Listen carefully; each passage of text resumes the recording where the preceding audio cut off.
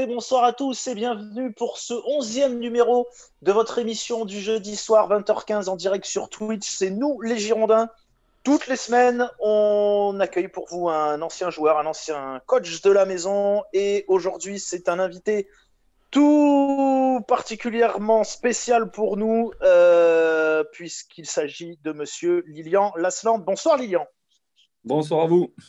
Merci beaucoup d'avoir accepté notre invitation. Pas de problème, c'est, euh, ça fait plaisir aussi de pouvoir discuter un petit peu et puis de, donner des nouvelles aussi. C'est un régal. Euh, avec moi ce soir, il y a Emeric. Salut Emeric. Salut, euh, bonsoir Lilian et merci de, d'avoir accepté cette invitation. Pas de problème. Salut Elise. bonsoir Seb, bonsoir Emeric, bonsoir Lilian et bonsoir tout le monde, c'est un honneur. Elise, elle va avoir un œil sur Lilian, un œil sur Koundé, un œil partout. J'ai toujours un œil sur Jules, tu sais très bien. Euh, messieurs, mais, euh, mais, oui, avant, avant, avant, de vous, avant de vous dire comment communiquer avec nous via les réseaux, si vous voulez poser une question à Lilian en direct, je pense que sur le chat du Twitch, c'est ça, Emeric euh, Sur le chat du Twitch, oui, exactement, c'est ça. Ouais, je commence à pas être trop trop mauvais, ça va. T'es passé chez ça, c'est bon. passé chez ça.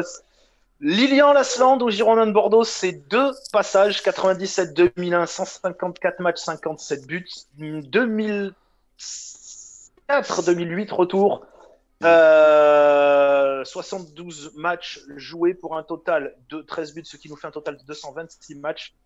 Lilian Lasland, c'est aussi, parce que moi je suis un peu plus ancien que mes deux acolytes du soir, c'est aussi, c'est aussi un passage, euh, on va dire, euh, très prolifique et très remarqué à la JOCR. On va pas l'oublier quand même, parce que le commencement.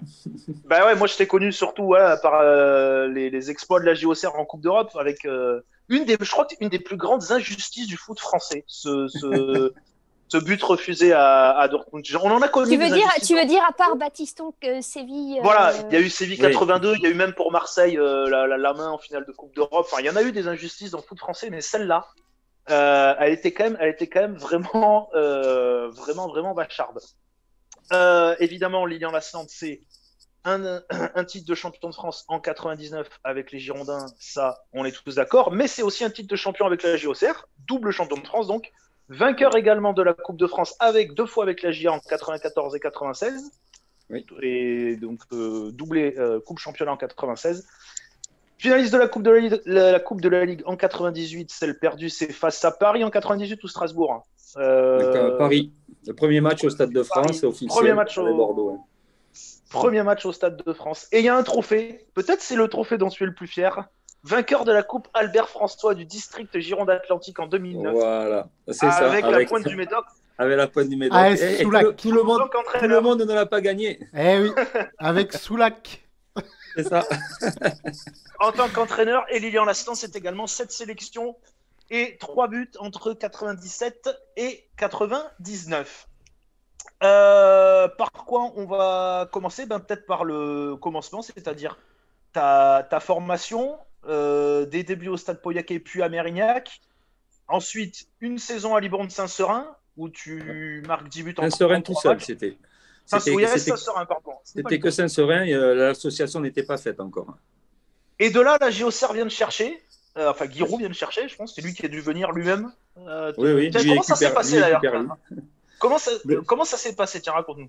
Eh bien, cette, euh, cette année-là, je, je jouais à Saint-Seurin. J'avais quoi 18, Entre 18 et 19 ans. Et j'avais des garçons comme Jean-Marc Furlan, Michel Leblaillot, Furic, Lubin. voilà. Et ils me disaient Garçon, cette année, ça doit être ton année de tremplin. Il faut que tu marques des buts. Donc, ben, ils jouaient déjà j'étais jeune, mais il jouait, il jouait avec moi parce que ben, je, marquais quand même des buts. Donc, par rapport à ça, je me suis fait remarquer euh, pendant cette saison-là. Et chaque saison, chaque, chaque match qui se passait à la maison, il y avait un. Il y avait Dominique Cuperli qui venait voir le match à, Saint-Seurin. Et chaque fois qu'il est venu, en plus, je marquais. Donc, euh, il, a, il a dit à Giroud, ben, il y a un jeune qui a 19 ans, là, qui s'est qui, se fait remarquer un petit peu. Il faudrait venir le voir. Et puis un jour, on a fait un match amical euh, à Blanquefort contre Lyon. Et là, Giroud était là. Le match s'est bien passé. Et, euh, puis à la fin, ben, j'ai eu euh, le choix entre les Girondins et puis Auxerre. Et ce choix, ce choix-là ben, a été fait à Auxerre parce que quand je suis venu voir les Girondins, je sortais d'un match de Coupe de la Ligue où on avait joué les Girondins à, Saint-Seurin. on avait gagné 2-1, j'avais marqué les deux buts. Donc à la fin, il m'avait dit ben, avant les vacances, viens nous voir au Hayan, on va, on va discuter. Et pendant la discussion, ben, euh, je disais ben, est-ce que je vais m'entraîner avec l'équipe première? Est-ce que ça va être avec la deuxième équipe? C'était la D3 à cette époque-là. Euh, ils m'ont dit ben, ça, ça se verra sur le moment ou quoi que ce soit. J'ai dit d'accord. Et puis de l'autre côté, je connaissais déjà la proposition. Guillaume m'avait dit ben, Lilian, tu, euh, tu, viendras, tu viens chez nous, mais moi par contre, je te promets que chaque entraînement, tu le feras avec l'équipe première. Donc, tu prendras l'expérience avec nous. Et par contre, je ne te dis pas si tu joueras avec moi ou avec la deuxième équipe, mais au moins, tu t'entraîneras. Et, c'est ce qui m'a fait faire le choix d'aller à, d'aller à Auxerre. Et, et pour apprendre, euh, c'est une très, très bonne école.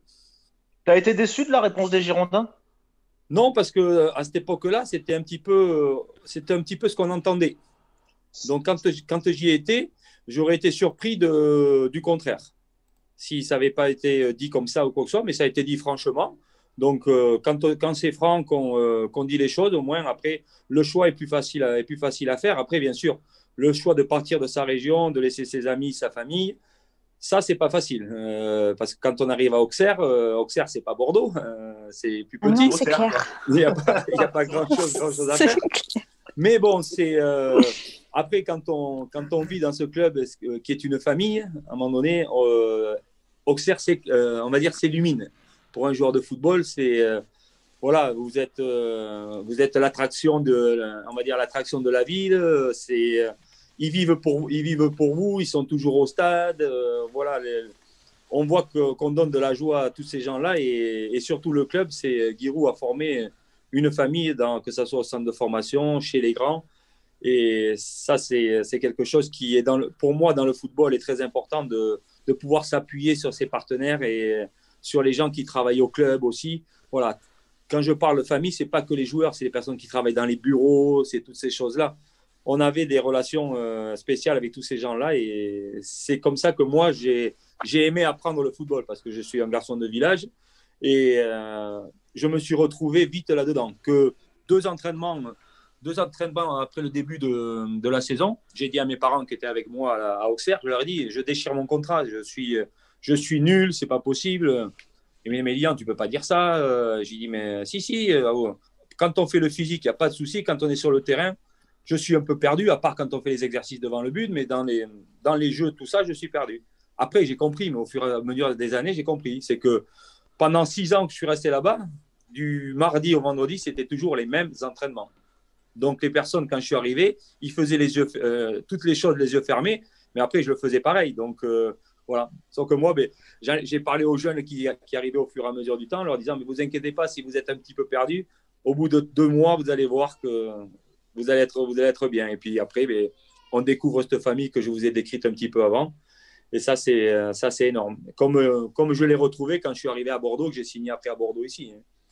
Est-ce que, est que, ça a été une forme de fierté de revenir à Bordeaux euh, en tant que joueur accompli, parce que tu es parti en tant que jeune espoir potentiel pour t'affirmer ailleurs.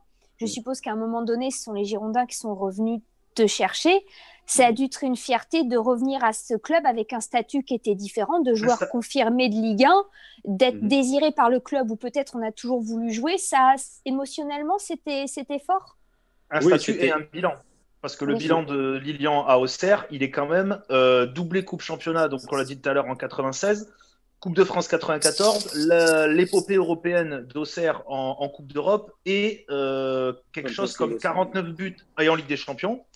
Euh, et quelque chose comme 49 buts en 145 matchs, ça fait quasiment que tu scorais un match sur trois. Quoi. Oui, c'était à peu près ça. Et puis, oui, pour la question d'avant, bien sûr, c'était une fierté. Mais quand je suis parti, comme, euh, comme vous l'avez dit, je, je n'avais pas d'expérience. Je n'avais pas l'expérience, je me, la, je me la suis créée, et puis on me l'a, on me l'a créé aussi à Auxerre. Tous les partenaires que, que j'ai pu avoir autour de moi ou quoi que ce soit m'ont fait, m'ont fait briller, comme j'ai pu les faire briller aussi. Et tout ça, c'était, c'était un, travail, un travail de groupe. Et quand je suis arrivé à Bordeaux, ben oui, c'est Roland Courbis qui a fait la, la négociation qui m'a fait venir à Paris, qui m'a dit Lilian, ben moi, le groupe que j'ai cette année, c'était l'équipe quand il y avait euh, euh Bas, euh, il y avait Bas, Michel Pavon, Mikou, Jean-Pierre Papin, euh, Paolo Grala, qui m'a l'équipe avec Domoro, toutes ces choses-là. J'ai envie de changer deux joueurs parce qu'il y en a qui vont partir. J'ai envie de t'avoir à toi et d'avoir c'était qui de Marseille qui, à ce moment-là qui voulait? Et donc, il me dit, ben, je lui dis, ben, moi, il n'y a pas de souci, euh, vous avez juste à voir avec Giroud. Il m'a donné mon bon de sortie. Maintenant, les négociations d'argent, ça, c'est vous, qui c'est vous qui voyez les transferts, c'est pas moi qui m'en occupe. Et donc, euh, ça se fait. Giroud m'a dit, Lilian, t'inquiète pas, vu les services rendus, pas de, tu n'auras pas d'interdiction de, notre part, tu, pourras partir et on ne bloquera pas pour quoi que ce soit, ne t'inquiète pas là-dessus. Donc, euh, heureux d'arriver ici. Puis, quand je suis arrivé ici, ben, Roland Corbis euh, est parti à Marseille. Donc, euh, c'est-à-dire que. Il a, fait l'équipe qui a été championne.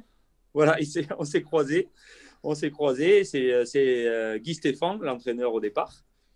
Et, après, ben, je crois, 3-4 mois après, ben, c'est le changement avec Eli Bop. Et puis, c'est Eli Bop qui a pris l'équipe.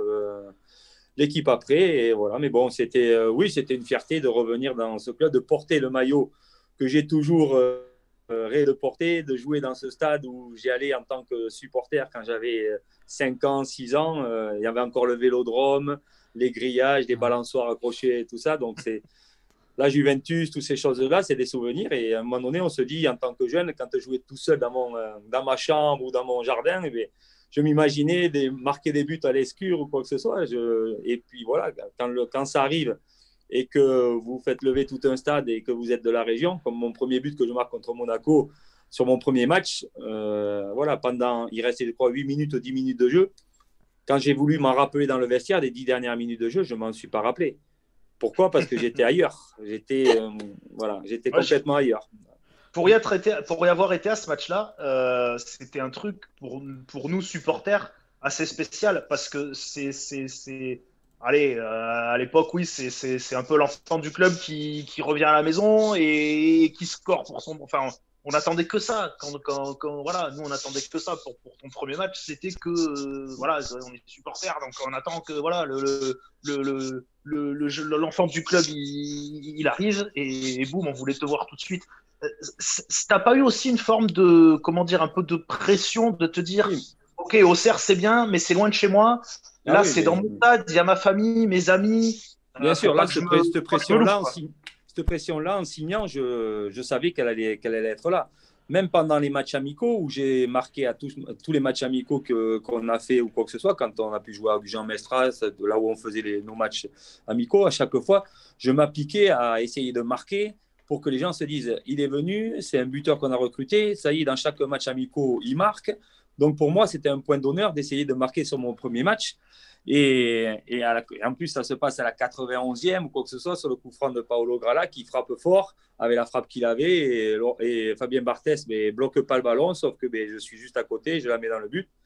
Et je me rappelle après ben, cette joie. Et même après le match, on avait été invité par les, par les Ultras dans, leur, dans un, un local qu'ils avaient loué pour faire une fête à eux. J'y avais été pour leur dire bonjour parce que j'aime bien avoir le relationnel avec les, avec les supporters aussi, parce que je trouve que c'est important de pouvoir euh, leur rendre euh, des fois euh, service et de leur, de leur, rendre honneur un petit peu par rapport à, aux chants qu'ils peuvent faire pour nous, à, à, nous supporter dans les bons et dans les mauvais moments. Donc, de suite, la connexion s'est faite et je crois que c'est à partir de ce soir-là qu'ils ont, je crois qu'ils m'ont créé une chanson. Oui, et justement, ça réagit beaucoup dans le chat. Euh... Elle est bonarde en plus ta chanson, ça va, c'est pas celle d'Odard. Alors, il y en a eu des, il y en a eu des pires, la tienne elle est bien. Seb, euh, il y a plusieurs questions dans le chat, ça, ça, réagit énormément ce soir. Euh, Est-ce que tu te rappelles de, de, ton centième but marqué? Oui, je me rappelle de mon centième but, je, suis, je l'ai marqué. J'ai attendu presque six matchs avant de le marquer. J'arrivais pas à marquer même à Bastia ou quoi que ce soit. Et c'est, je jouais à Bastia contre Bordeaux. Et donc, j'avais, comme euh, les gens doivent savoir, j'ai le restaurant Le Café Populaire à Bordeaux. Et euh, mon équipe m'avait fait faire un maillot avec l'étoile du Café Populaire, avec le nom Café Populaire, et derrière le numéro 100. Donc, ils m'ont dit, viens, tu le mets sous ton maillot, et si tu marques, euh, tu le montres, ça nous fera de la publicité. Ils nous disaient tout ça. Mais bon. Et ce jour-là, ben, on vient avec Bastia gagner 2 à 1. Et je marque le, deuxième but et mon centième à Bordeaux. Bon, c'est moi, pour moi, voilà, c'est peut-être, euh, je ne vais pas dire un pied de nez ou quoi que ce soit, mais c'est parce que je suis parti euh, sans être fâché avec le club ou quoi que ce soit. Mais voilà, peut-être que l'avenir, du moins l'avenir voulait que ça soit, que ça se passe à Bordeaux pour que ça fasse un souvenir de plus dans ma ville et, je l'ai, j'ai adoré, j'ai adoré aussi ce souvenir, même si ce jour-là, j'ai battu les Girondins. Mais, voilà, c'était... mais par contre, de suite, le public a applaudi et ça fait chaud au cœur aussi. Et, les, anciens qui marquent contre les Girondins, euh, ça arrive très souvent, surtout ces dernières années. Hein. Il y a un peu un karma qui règne euh, à Bordeaux pour ce genre de choses. Et ta chanson, justement, tu t'en souviens ou pas de ta chanson? Ah bah quand même. mais, en, fait, il en fait, il veut qu'il chante, c'est ça. Non, non, non, dans le chat, on, me demande si tu te souviens de la chanson que les Ultras te chantaient. Et euh, donc c'était Lilian Lasland. Lilian Lasland, quand, quand le virage chantera, un but, tu marqueras pour la joie de tes ultras. Pour la joie de tes ultras, c'est ça. Ouais, je suis arraché la voix sur cette chanson, mais des Ah, ça y est, ça y est, Seb, il revient en arrière, il veut revivre des trucs et tout, il revit sa jeunesse. Je vous le de suite, si vous m'arrêtez pas, je peux faire jusqu'à demain matin. et après, après, ce qu'il y a, c'est que j'ai eu, la, eu la chance à chaque fois dans les années bordelaises les gros matchs, que ce soit contre les équipes, euh, on va dire, ennemies, entre guillemets, que ce soit Marseille, que ce soit Paris ou quoi que ce soit, j'ai pratiquement toujours marqué. Donc, tu à chaque euh, fois. Justement, euh, à, propos de Marseille, il y a un match un peu, un peu fou où à un moment donné, vous avez vu, vous avez collé 4 buts en 17 minutes. Est-ce que vous avez compris ce qui s'est passé ce jour-là? Parce que bon, c'était en plus l'anniversaire du décès de Claude Bèze. Il y a eu les supporters marseillais qui. voilà. C'était pas l'anniversaire, c'était il est mort une semaine avant. Voilà, c'est ça. Donc, euh, c'était un hommage au président qui était décédé. Et puis, bon, il y en a qui n'ont pas respecté la minute de silence. Et là, vous avez volé. Pendant un quart d'heure, on avait l'impression qu'il y avait tout qui pouvait, qui pouvait passer. C'est ça arrive pas mm. souvent ce genre de choses, soit coller 4 buts en 17 minutes. Euh. Non, c'est sûr. Puis bon, dans le contexte, dans le contexte où Marseille arrive leader, si on les bat, on leur passe devant. Mais ce soir-là, c'est euh, voilà depuis depuis la, veille au soir à l'hôtel, on, on savait qu'on allait faire quelque chose. On était dans dans une euphorie que voilà, on, à décrire c'est difficile, mais à le vivre quand on l'a quand on l'a vécu. Après, on peut on, peut en discuter ou quoi que ce soit. Mais la veille, je me rappelle de Gilardi de Canal qui était avec nous à, l'hôtel et qui nous dit euh, les garçons, qu'est-ce que vous faites après manger là? Je dis ben, normalement Michel Pavon, on s'installe, il fume sa cigarette, on s'installe au, bar de l'hôtel là, et puis ils boivent leur café ou quoi que ce soit. Et puis ils discutent avec nous, on rigolait sur des sujets. Il dit euh, pour détendre l'atmosphère, vous voulez pas faire les cons, euh, qu'on fasse un sujet ou quoi que ce soit? Alors Michel, il dit, mais qu'est-ce que tu veux qu'on fasse comme connerie ou quoi que ce soit? Il dit, mais je sais pas, comme il y a un match important demain, on peut demander au serveur qui nous amène les bouteilles d'alcool, comme si vous buviez l'alcool ou quoi que ce soit. Donc, je sais pas, on part dans son délire et on le fait. Et il filme comme ça, et il dit, oh, mais ça, ça va être une super chute. Je vais essayer de le faire passer demain, voir si ça passe. Mais bon, comme il y a les bouteilles d'alcool, je ne sais pas si ça passera. Bon, nous, on, s'en fout, on, l'oublie ça. On l'oublie, on l'avait fait, on l'oublie. Mais euh, on arrive dans le, dans le couloir qui était assez long. Et on part avant les Marseillais, on arrive en courant, et là, il y avait les pompiers qui étaient dans le couloir. Je crois qu'ils avaient, ils avaient présenté quelque chose. Et les pompiers qui étaient là, qui avaient enlevé leur casque. Et nous, on arrive, Sylvain Woultor, Kiki Moussampa, Michel Pavon, et on prend les casques, on les met sur la tête. Et les Marseillais, ils arrivent au, moment, dans le vestiaire, on était, on était habillés, ils arrivent au même moment où on a les casques sur la tête. On a vu leur regard, ils se sont dit, mais ils viennent jouer un match sérieux ou quoi? et, et de suite, quand on n'est pas sur le terrain, pour nous, c'était dans notre tête, c'était normal par rapport à ce qu'on pensait, ce qu'on voilà. Après, bien sûr que il y a eu, il y a eu la chance, il y a eu tout ça, mais par contre, mais nous, on, on, a fait, on, a fait comme on faisait habituellement. On a essayé d'être un rouleau compresseur pendant les 15 premières minutes pour déclencher le, pour déclencher la victoire. Et puis en plus, ben, il y a eu la, il y a eu la chance quand je vais, quand je vais faire ce, ciseau retourné pour remettre la balle au centre. Je ne cherche pas à la remettre sur, sur Sylvain euh, totalement. Je fais juste ce geste-là pour remettre le ballon en jeu. Et euh, Sylvain est là, il marque le premier but et ça, et ça, enflamme, le, ça enflamme le stade. Et comme je vous dis, après, dans un, dans un stade comme il y avait à l'Escure, enflammé, mais sur le terrain, on ressent des, des palpitations qui sont euh, indescriptibles. Non, mais c'est surtout. En plus, en plus le, troisième. T'entends pas un pendant le match des ciseaux. Oui, oui, oui. Après... T'entends ce, je sais plus combien de. Ouais, 3, et que Courbis, à la fin, enfin, quelques années après, je me rappelle plus, il dit euh, s'il avait pu en tenter 12, il en tentait 12 et potentiellement il en mettait autant. C'était Émeric, je sais pas si tu étais au stade ce jour-là euh, ou tu étais trop petit encore, j'en sais rien. Trop jeune euh, trop, trop, jeune. Trop, oh, on n'est pas si petit que ça, Seb. Hein.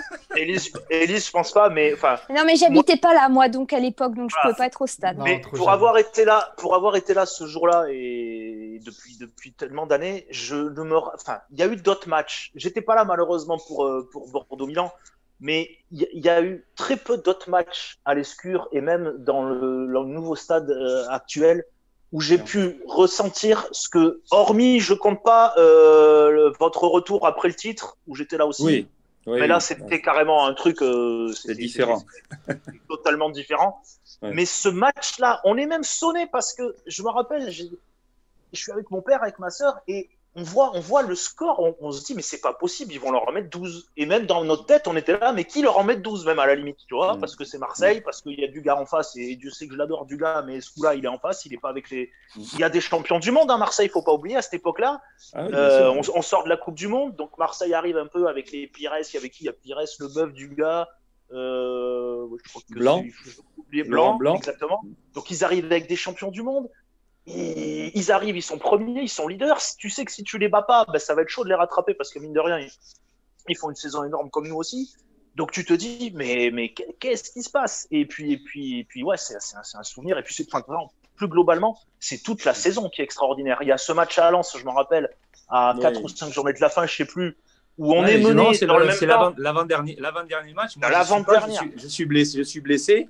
Je regarde ça de la maison parce qu'il m'avait dit de venir. Je dis non, non, je ne peux pas venir, je n'ai pas envie, je vais être trop stressé. Je, je, vais regarder ça à la maison avec des copains.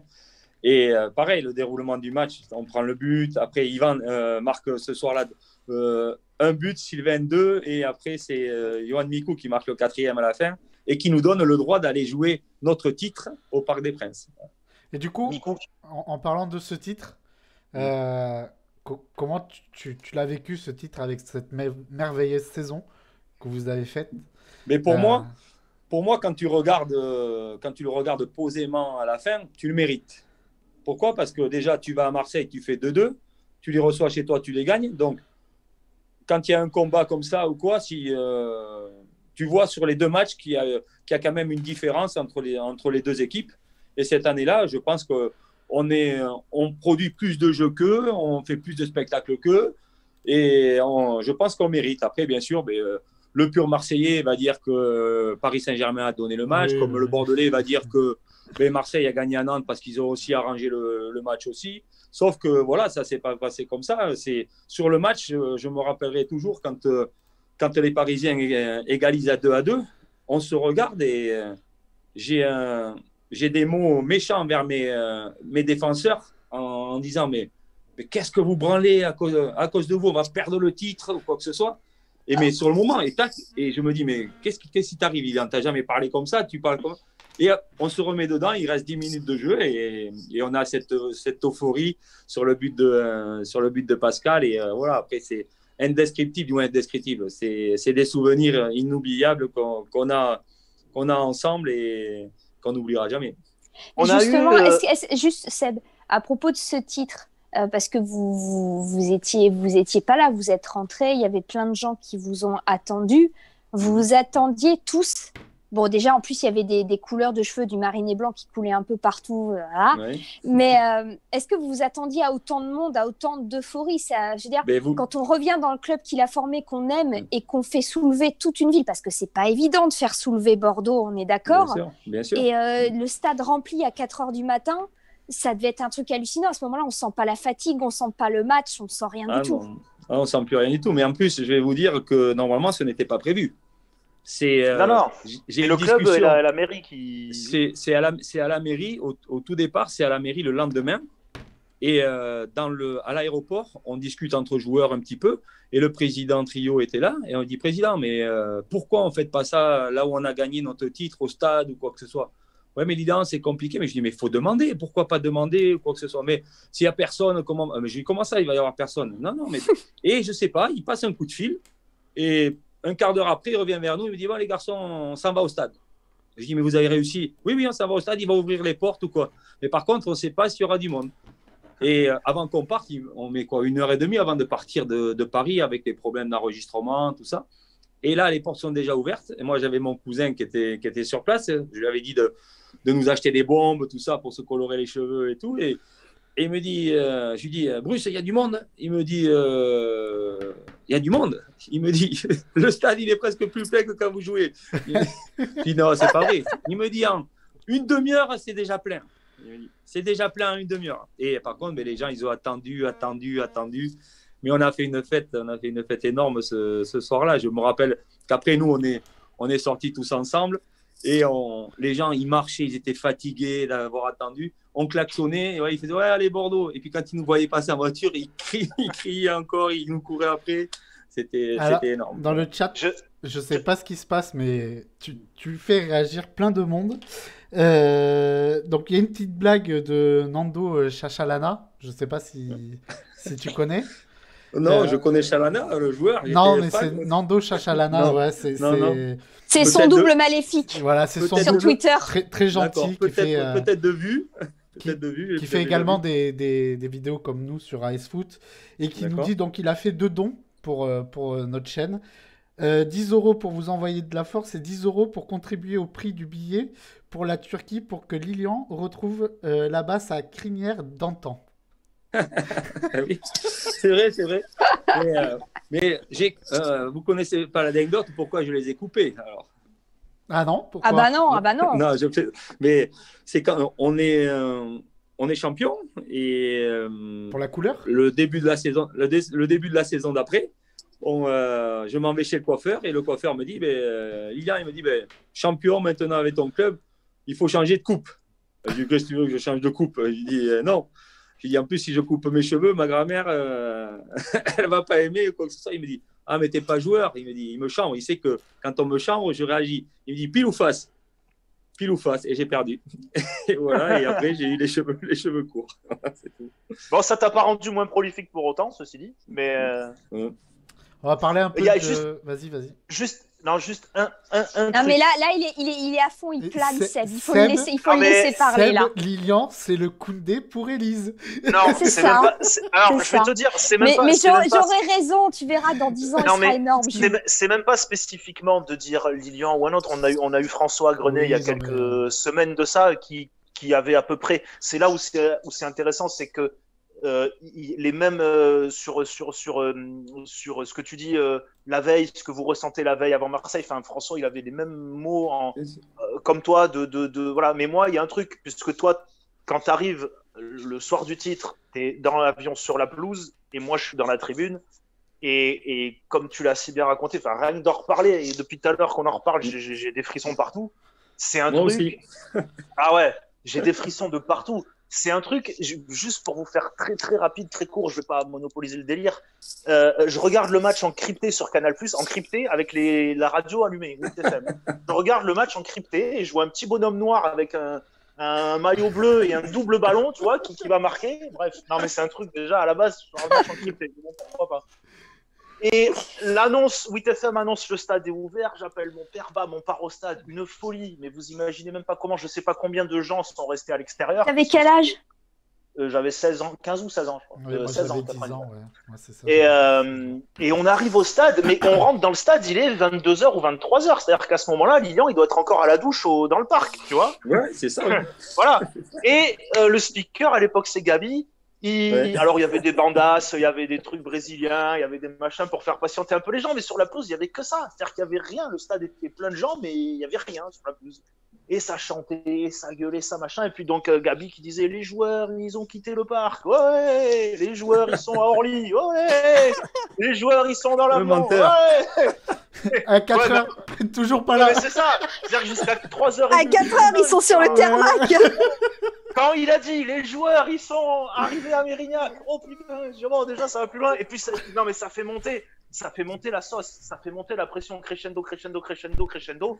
Et à un moment donné, tu lâches tout parce que, parce que, parce que, parce que, voilà, parce que c'est n'importe quoi et que, qu'on aurait pu rester jusqu'à midi, 10 heures du matin, c'était la même. Non, mais c'est clair, c'était pareil. Oui. c'était un truc, c'est terrible. Rien que d'en parler, j'ai des frissons partout. Et, Bref. Euh... Et, et, ben moi, je vais faire enlever ces frissons. Ah, ça y est, il va nous faire redescendre de notre ah, petit nuage. Tu veux, parler de la, tu veux parler de la situation actuelle, c'est ça? Non, je, je, veux juste parler euh, voilà, de, de, du sportif des Girondins de Bordeaux actuellement, qui a une, une, une, attaque peu prolifique. Euh, est-ce que tu penses que les mentalités ont changé euh, Enfin, oui, la mentalité a changé de ta génération à, celle d'aujourd'hui? Euh, qu'est-ce, que, qu'est-ce qui, peut faire cela et comment on peut changer cette façon de faire évoluer, que les gens soient plus amoureux du, scapulaire? Moi, moi, je, moi, je pense que oui, les générations ont changé, ça c'est sûr. Mais aujourd'hui, quand on regarde les joueurs d'aujourd'hui, pour moi, ils ont même s'ils s'en aperçoivent peut-être pas, ils, sont, ils ont plus de qualité que nous. Ils ont plus de qualité que nous au niveau footballistique, au niveau, de, au niveau physique, toutes ces choses-là. Le, matériel qu'ils ont pour pouvoir travailler. Mais à aujourd'hui, ce qui manque, il leur faudrait peut-être un petit peu plus d'amour du football qu'on avait nous, pour faire un petit mix. Mais au jour d'aujourd'hui, les Girondins ont trouvé les personnes pour redonner ça en parlant de Jean-Louis Gasset, d'avoir mis Yaro Plazid, d'avoir fait venir Eric Bédoué, Alain Roche en tant que euh, directeur sportif. Tout ça, bien sûr que c'est ce qu'il fallait faire. C'est les garçons qui vont, pour moi, amener ce qu'il faut sur cela. Maintenant, il faut laisser, je pense, du temps. Mais du temps, quand on veut laisser du temps, il faut l'annoncer pour moi. Il faut dire qu'à un moment donné, on, est en reconstruction, le club des Girondins est en reconstruction, comme des grands clubs français. Nantes, Saint-Etienne sont passés par là mais pour au moins, il n'y aura pas cette pression-là peut-être sur les, sur les joueurs qui, au jour d'aujourd'hui, vivent dans, comme a dit Jean-Louis Gasset, vivent dans le passé, dans le passé de glorieux de ce club-là, que ce soit des années Giresse, des années 99, des années 2009. Euh, et je pense qu'il y a peut-être une pression qui se met toute seule et qui freine, qui freine ces joueurs, euh, ces joueurs-là aussi. Donc, voilà, moi, je, pense qu'il y a quelque chose à faire, qu'il y a quelque chose à faire avec ce groupe-là. Et les garçons qui ont été choisis sont, euh, sont pour moi les bonnes personnes qui vont pouvoir tirer, tirer euh, le maximum de ces joueurs-là pour, euh, pour donner des, résultats. Après, bien sûr, aujourd'hui, ces discours-là ne, ne tiennent pas trop la route parce que ce n'est pas le cas.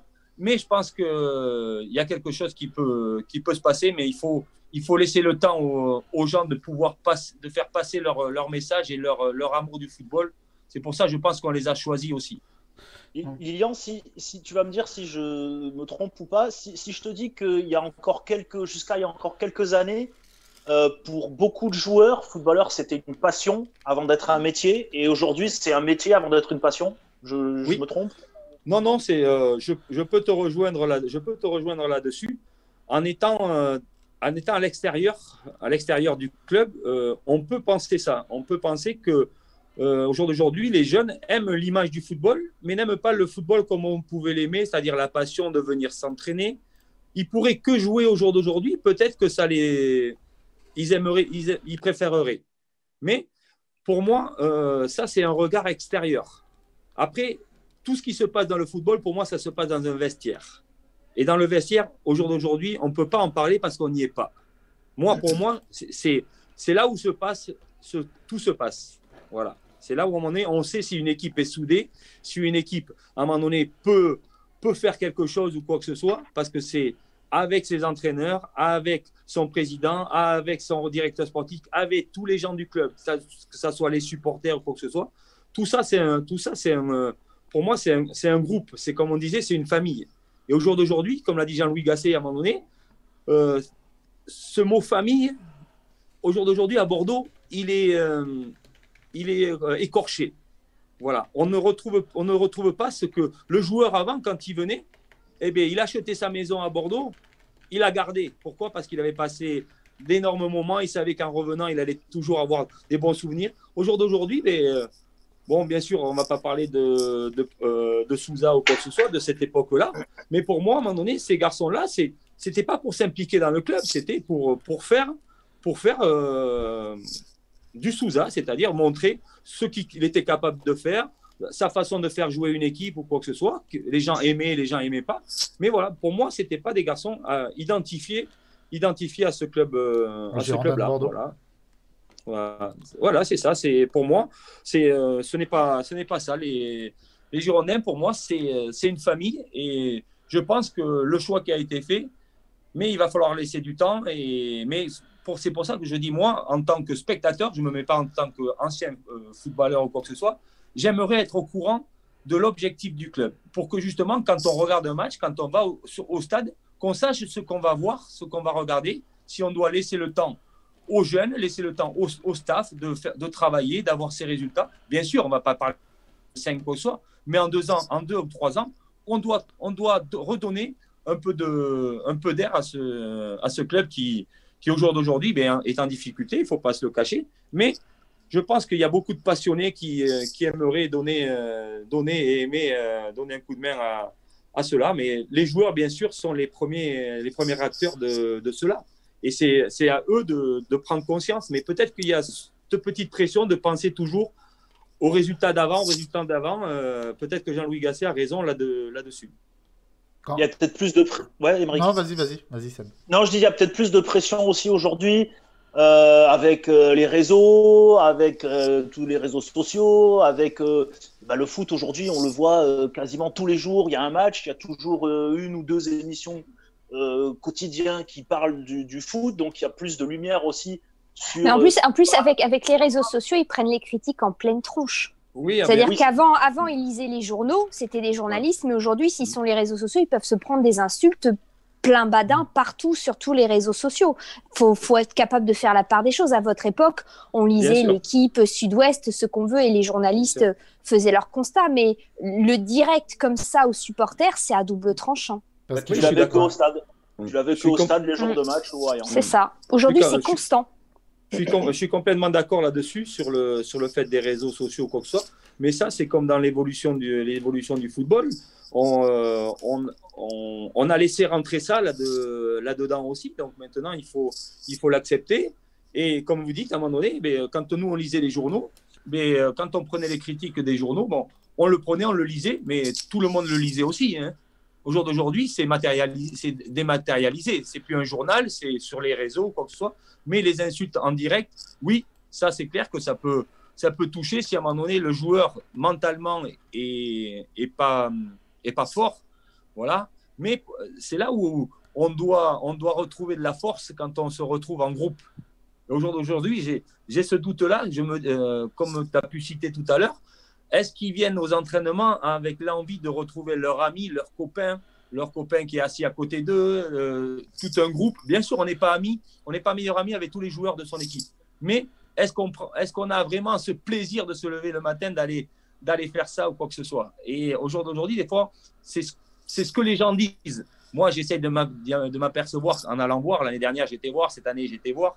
Et je ne retrouve pas ce que disent trop les gens là-dessus, mais je le retrouve sur les matchs. Des fois, je me dis, mais j'ai pas l'impression qu'ils jouent ensemble. Qui se battent c'est ce, me... ce qui me dérange, c'est ce qui me dérange un petit peu. Voilà. Qui se battent pour eux entre, enfin, qui se battent pour euh, pour. Voilà, c'est-à-dire, pour moi, si on n'est pas, si on n'est pas concerné, si on n'est pas, on fait pas partie d'un quoi que ce soit, pourquoi se battre pour le copain qui est à côté? Hmm. Non, et ça, c'est. Euh, j'ai des fois cette impression-là. Je pense pas ça, parce qu'à un moment donné, euh, ça veut dire que le, le, coach ne ferait pas son, son, travail ou quoi que ce soit. Mais pour moi, c'est ça. J'ai cette petite impression, pourtant, qui serait facile à gommer, parce que donner l'envie à ces joueurs-là, c'est quand même leur métier, c'est quand même leur, leur valeur, leur plus-value. C'est quand même leur plus-value. Ces, ces gens-là, s'ils font de bons matchs, eh bien, ils vont pouvoir avoir des tremplins pour partir ailleurs ou pour continuer là, pour jouer les, les hauts de tableau de la, de la Ligue 1, pas de jouer peut-être la, deuxième partie ou quoi que ce soit. Ça, c'est. C'est là où euh, il, doit y avoir des leaders, mais c'est comme je vous dis, ces leaders-là, au jour d'aujourd'hui, dans le vestiaire, il n'y a que quand on est dans le vestiaire qu'on sait ce qui s'y dit. Et ça, c'est, euh, il n'y a que les gens qui y sont. Qui, euh, mais bon, si vous, vous le savez pas, c'est déjà bien, parce qu'à un moment donné, ça veut dire que ce qui est dit dans le vestiaire ne sort pas du vestiaire, et ça, c'est bon, c'est, pas Non, mais il y a juste, il y en avait, il y en avait qui disaient, je sais plus, c'était Dugarry ou Lizarazu qui expliquait que eux, quand ils étaient jeunes, limite, ils passaient toute la journée au Hayan. C'est-à-dire qu'ils s'entraînaient, ils restaient y manger euh, au restaurant. Aujourd'hui, les mecs viennent à l'entraînement, repartent manger chez eux, reviennent pour l'entraînement de l'après-midi, alors mm. qu'avant, peut-être les types étaient quasiment toute la mm. journée ensemble à se retrouver pour déjeuner, à passer peut-être d'autres moments que la séance d'entraînement et les matchs. Aujourd'hui, ils viennent s'entraîner, ils sont ensemble une heure et demie, mm. et après, chacun repart vivre sa vie.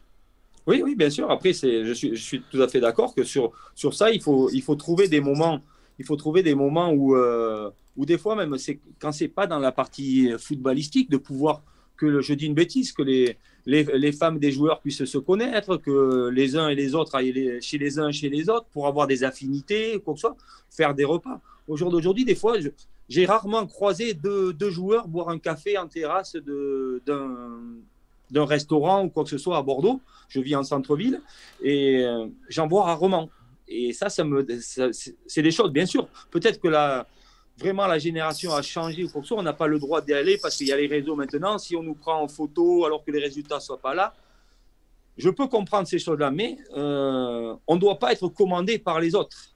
On doit être commandé par le, pouvoir qu'il y a dans ce groupe. À un moment donné, quand on, quand on est un groupe, on a un gros pouvoir. Quand on est tout seul, on n'est pas, on n'a pas ce gros pouvoir-là. Mais quand on est une équipe, pour moi, et un club, on doit pouvoir. Je pense que les gens de la ville, ils aimeraient voir, euh, ils aimeraient voir des, fois des joueurs comme ça entre eux se dire ah mais il y a une bonne ambiance entre eux, comme ça pouvait se dire. Au jour d'aujourd'hui, c'est pas ce qu'ils, c'est pas ce qu'ils pensent. Et euh, voilà, c'est ce que ce qui leur dérange en fait. C'est ce qui, les, ce qui les dérange un petit peu. Après, comme je leur ai dit, j'ai dit, c'est un sport professionnel qui a évolué.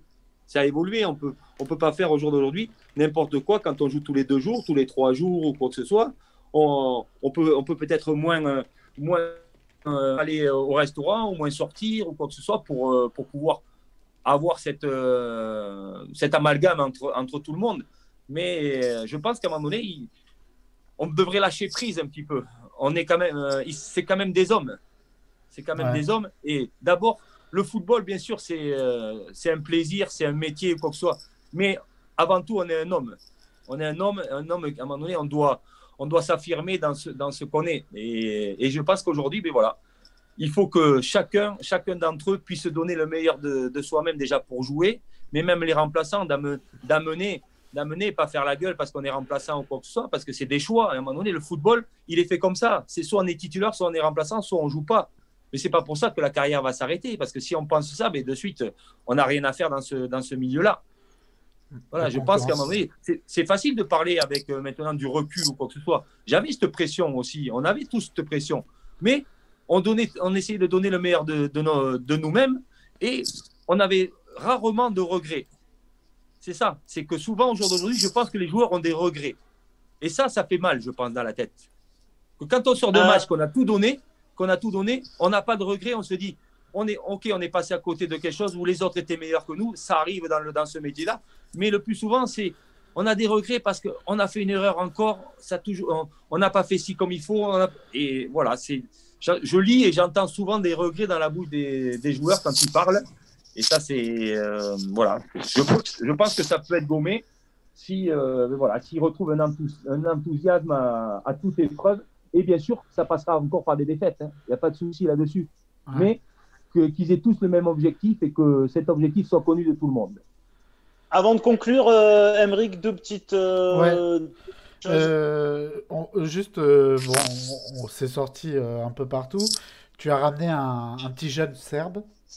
Est-ce que tu peux en dire un mot pour, les, pour les jeunes, pour la réserve, pas pour les Oui, oui, c'était. oui, je, peux en, je peux en dire un mot, puisque aujourd'hui, ça s'est arrêté ou quoi que ce soit, mais, euh, parce que c'est quand je vais en Serbie, puisque je, je suis marié avec une, une Serbe, et quand j'allais là-bas, ben, je regardais un petit peu le football et, euh, et j'ai vu ce garçon qui était intéressant, qui avait quelque chose. Et il m'a demandé un jour est-ce que je pourrais, euh, est-ce que je pourrais venir en France me, tester ou quoi que ce soit? Est-ce que donc je dis ben, pourquoi pas Je dis je pense qu'il y a quelque chose à faire. Je, je peux demander aux Girondins, j'ai des contacts. Maintenant, je te promets rien, au moins tu t'apercevras de ce qui va euh, du niveau ou quoi que ce soit. Et donc, il est venu, il a passé une semaine. Et euh, aujourd'hui, c'était compliqué que c'était compliqué de signer un contrat parce qu'il avait 20 ans. Obligatoirement, à 20 ans, il faut signer un contrat professionnel. Et au jour d'aujourd'hui, les Girondins ne sont pas dans la situation de faire des contrats professionnels. Si, ok, si c'est une exception, la, personne on peut, mais au jour d'aujourd'hui, il y a des garçons sous contrat qui sont euh, du même niveau que lui, qui ont déjà l'expérience girondin.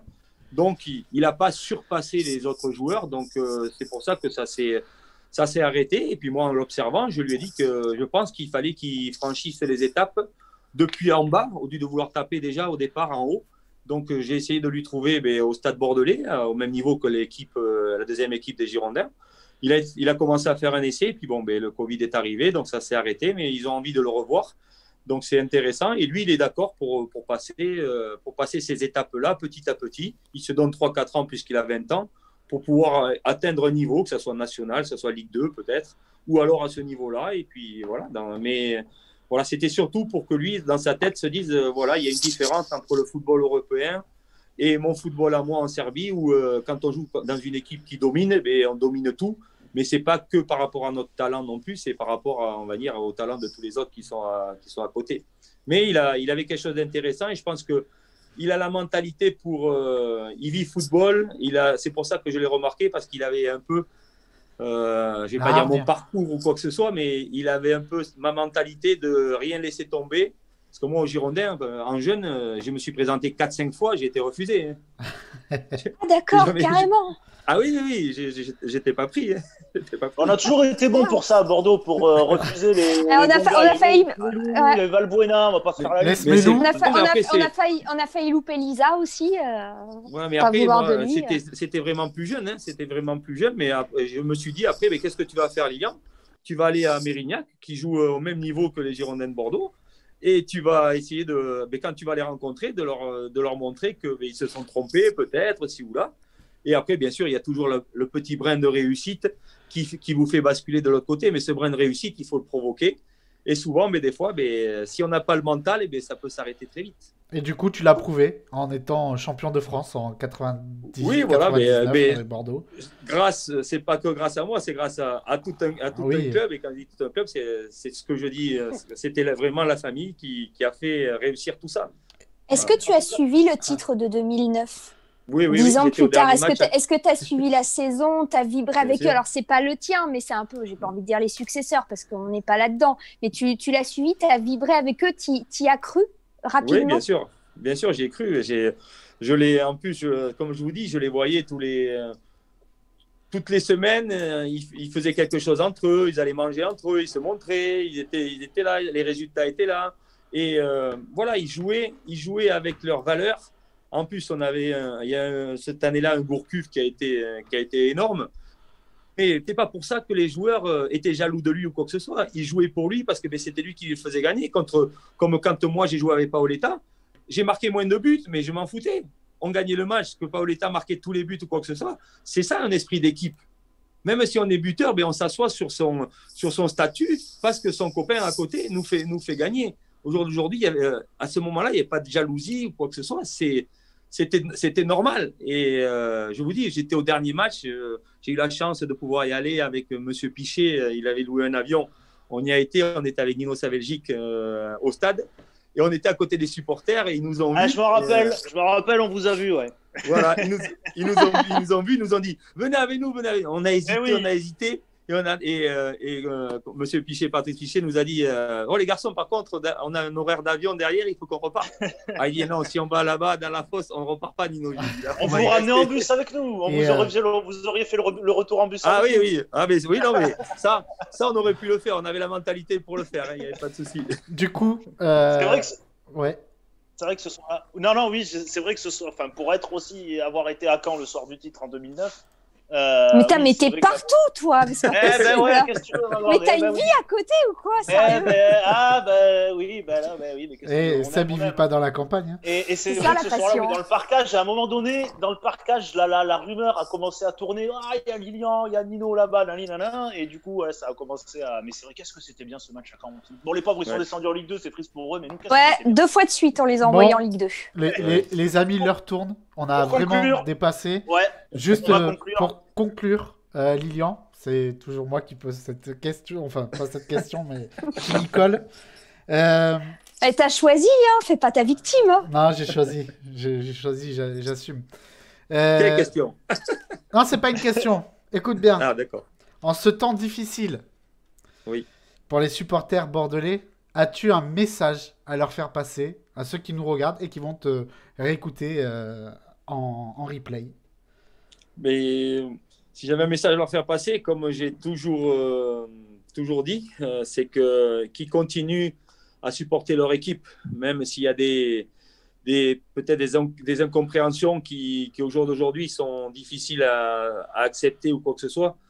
Je pense que les, les Girondins de Bordeaux ne peuvent pas, ne peuvent pas vivre sans, leur, sans leurs ultras, sans leurs supporters. Donc, je ne sais pas comment ça va, ça va finir ou quoi que ce soit, mais je pense que les, les joueurs ainsi que la ville a besoin de a besoin d'eux et c'est comme ça qu'il faut qu'il faut voir la chose et, et j'espère que ça s'arrangera. Euh, si on peut faire des choses pour arranger cela, ben on va on va essayer, mais en tout cas, euh, je ne vois pas les Girondins de Bordeaux sans leurs ultras. Très bien. Merci beaucoup, L'heure, hein. on a un petit peu dépassé, Lilian, on est désolé. mais C'est pas euh, grave, c'est pas grave. mais moi, quand je, parle, quand je, parle, je peux rester là longtemps aussi. Hein. Eh, eh bah, nous aussi. Hein. Je peux être là jusqu'à demain matin, il n'y a pas de problème. En plus, euh, mais par contre, on pourra, on, pourra, on pourra te réinviter euh, si tu l'acceptes. Peut-être plus tard pour parler. Il n'y a vraiment pas de problème. Pour parler. C'était sympa de votre part. Merci beaucoup de votre invitation. Infiniment. Lilian, on va te souhaiter le meilleur pour, pour la suite. Et puis pour tous ceux qui n'ont pas eu la chance d'avoir connu Lilian euh, sur un terrain en tant que joueur, vous allez sur YouTube, vous allez sur Internet, vous tapez Lilian Lasland, but, tout ce que vous voulez. Lilian, ce but au Celtic, ma maille. Ce but au Celtic en Coupe d'Europe, je ne sais pas si Emeric et Elise y voient de quoi je parle. Il y a un partout, si je dis pas de bêtises, on est éliminé. C'est les prolongations, la fin des prolongations. Et t'es quoi? T'es entre l'angle de la surface et des. Ouais, oui, c'était complètement à droite excentré. Et il y a une frappe qui part, elle part croisée, lunette à gauche opposée. Tu as tout le stade au Celtic, climatisation générale. On est qualifié. Merci, la visa Clara. Bonne soirée. Euh, Écoute-le ah comme il est heureux celui-là. Ah, ouais. ah mais oui, mais j'étais devant ma télé, j'étais fou, j'étais fou, j'étais dingue. Bref, merci. Ça fait partie des bons souvenirs. Ah ouais, et, et, sur le chat, je peux te dire, et je peux te jurer que tu, tu, il n'y a aucun qui a été, euh, qui a été, euh, comment dire, euh, qui a pas gardé, ouais, voilà, désobligeant, qui n'a pas gardé un bon souvenir de toi. ils ont tous gardé un bon souvenir de toi.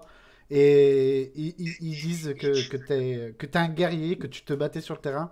Et c'est ce qui nous manque aujourd'hui au Girondins. Voilà, voilà le message à peu près de, de tous les, les viewers qui Mais, ça, mais ça, va, ça va revenir. Si tu veux pas rechausser les crampons tu te sens pas euh, aller 10 minutes en fin de match Je suis, je suis trop vieux maintenant.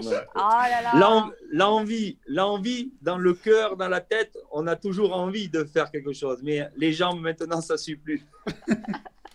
Merci vraiment. Merci beaucoup, Lilian. On te souhaite une, une, bonne soirée, vraiment bonne continuation pour la suite. Et puis, Merci bah, à, vous. Voilà, à, très bientôt peut-être. Euh, pourquoi pas en studio, en direct à la radio, quand les conditions le, le permettront. Euh, eh bien, avec grand plaisir, comme, comme ça je vous, verrai aussi, vous verrai aussi. Et quand ils invitent à la radio, il faut un barbecue. Hein. Ouais, ouais, ah, oui, Bon, comme, je suis du, comme je suis du Médoc, je peux amener du vin si vous voulez. ah, bah voilà, merveilleux. avec plaisir, avec grand plaisir. Merci beaucoup, okay, Merci à vous. Salut, bonne soirée, ciao.